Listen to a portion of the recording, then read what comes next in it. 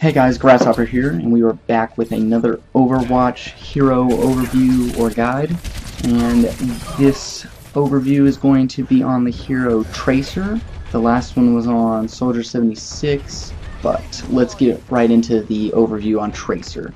Tracer is, first off, she's probably the most well-known hero in Overwatch. She's the cover hero, I guess you could say, and um, people use her a lot, so you will run into her and probably every game you play of Overwatch. But let's move on. She is an offensive hero with medium power. She's definitely a close range hero, like high power close range, and then the damage drops off real fast, so it's hard to do much damage with her at long range. She has 150 health, which is below average. The average is 200. She has high mobility because she can dash forward with her blink ability, and she is medium difficulty, uh, 2 stars, according to the Overwatch wiki. Her weapons are her pulse pistols, which there's 40 bullets between both of them, and it reloads in one second, so you can get shots off really fast. And like I said, it does more damage up close, and you can get headshots with the, the pistols. Now let's move on to her abilities and weapons. You have her ultimate is the Pulse Bomb, and it is a sticky bomb that can be thrown a short distance it does a lot of damage to a pretty decent sized radius. It actually does 400 damage, and the radius is big enough that you could almost get yourself killed as Tracer, so you need to throw it and immediately get out of there. And if you're playing as any other hero and going up against an enemy Tracer, just when you see a Pulse Bomb get down, you have to get away from that really fast. If you're stuck with it, you're fucked, but you could try to save your teammates by getting away from them.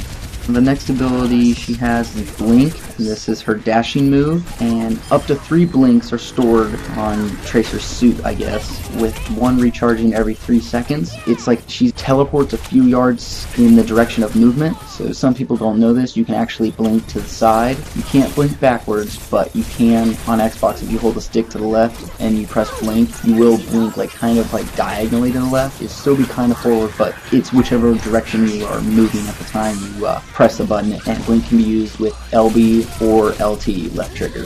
Her next ability is Recall. It's an ability uh, kind of like time travel, and it teleports Tracer back a few seconds on the map, and it restores her ammo and health to what it was a few seconds ago also.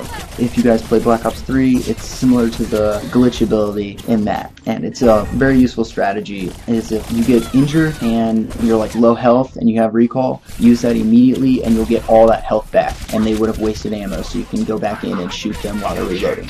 Now let's move on to the how to use Tracer. She is definitely a close quarters hero, but she's low health, so you want to take on enemies one-on-one. -on -one. You do not want to go up against a group because she just doesn't do enough damage and she doesn't have enough health to take damage. I would say attack enemies off by themselves. You can deal high amounts of damage up close and then dash away or recall away before they can return fire. Um, you could dash through them to disorient them because then you'll be behind them and they'll have to turn around. So you have to be quicker than your enemy to beat them in a battle. And then like I said, if you get injured, you recall right away to regain your health. But yeah, speed is your ally when you're Tracer.